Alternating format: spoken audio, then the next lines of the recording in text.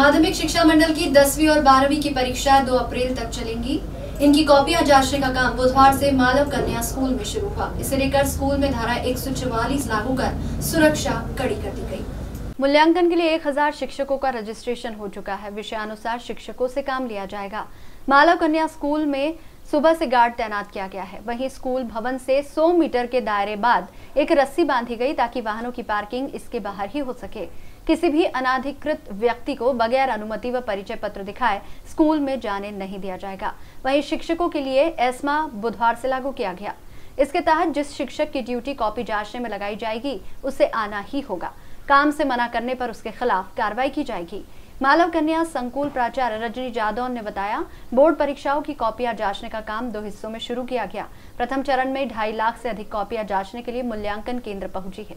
साथ ही शिक्षकों को आदेश दिए जाएँगे कि वे नियमों का पूरी तरह पालन करें और जिनकी ड्यूटी कॉपियाँ जांचने में लगाई गई है, वे समय पर उपस्थित हुए अन्यथा उनके खिलाफ कार्रवाई की जाएगी। जिला कार्यालय के अनुसार हमारे यहाँ एक हज़ार शिक्षकों का रजिस्ट्रेशन हुआ है और अभी हमारे पास जैसे ही शिक्षक आते जा रहे हैं तो रोज़ शाम को उपस्थिति उनकी दर्ज होगी और पता चल पाएगा लेकिन एक पूरी कॉपियाँ जो आती हैं चार साढ़े चार लाख के करीब कॉपियाँ आती हैं हमारे यहाँ जश्न के लिए और इसमें छः से लेके सात सौ टीचर्स की हमें आवश्यकता होती है। और प्रिक पॉइंट पे हमें साढ़े छः सौ सात सौ टीचर आते हैं हमारे सुरक्षा व्यवस्था का क्या इंतज़ाम सुरक्षा की दृष्टि से हमारे यहाँ पूरे साल भर एक चार का गार्ड लगा होता है। गार्ड अभी बाहर बैठे हुए हैं।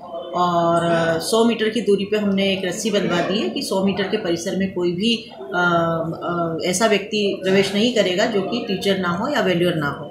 और दूसरा एक धारा और एस्मा और पार्किंग की व्यवस्था बाहर आउटसाइड में की गई है और बोर्ड की तरफ़ से एस्मा धारा भी लगाई गई है। जिस दिन पेपर होगा उस दिन मूल्यांकन का काम दोपहर साढ़े बारह बजे से एक बजे तक शुरू होगा।